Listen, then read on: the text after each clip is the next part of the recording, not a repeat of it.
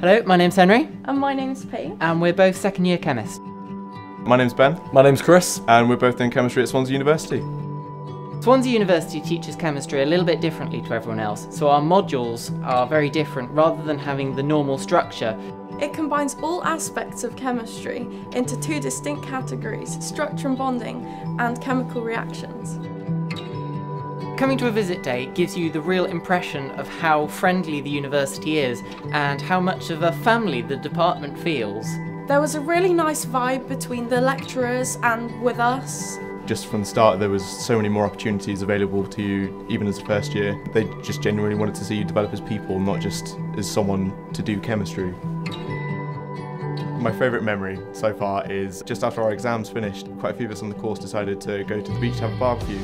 And instead of doing the normal student thing of buying disposable ones, Chris thought it would be a really good idea to buy a proper big barbecue, which we then had to carry for about half a mile and then build on the beach. It wasn't half a mile. It was at least half a mile. As a department, I think outside of lectures, we've had so many memorable experiences together as a group. I did build it myself, to be fair. Yeah, and then I did. cooked everyone food, so That is true. yeah. But then I did have to order a taxi to get it home.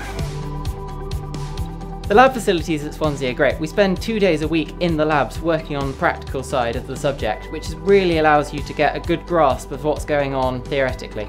There's nothing better than putting theory into practice with new shiny equipment. The Chemistry Society at Swansea University is doing really well. We're a gold society now as part of the SU. We organise social events, um, so we've organised a pub quiz, uh, we've organised a night to go to Play Zone, which is kids' play park, but on Friday night it's open to adults. I think the outreach opportunities within our society are amazing. Getting to help out current A level students within the lab with some of their experiments that we were doing just a year ago is fantastic. My advice to anyone thinking of applying to Swansea is come and have a look.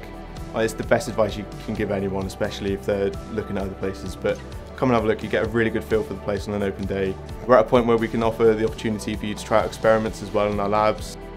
Besides looking at the course, just come down to look at the local area and the community you've got here, because alone the course is quite important, but come down and try and get a feel for the area because that is a huge factor into what makes Swansea so enjoyable. Yeah, it's such a versatile city. So if you want to stick with just urban areas, you know, you've got shops everywhere, you've mm. got that. But if you also like the beachy side of Wales, because you want to take Yeah. advantage of that, you're right next to it on Singleton campus and on Bay as well. I don't think people quite realise how much there is to do in Swansea. You got to come down and see it all for yourself.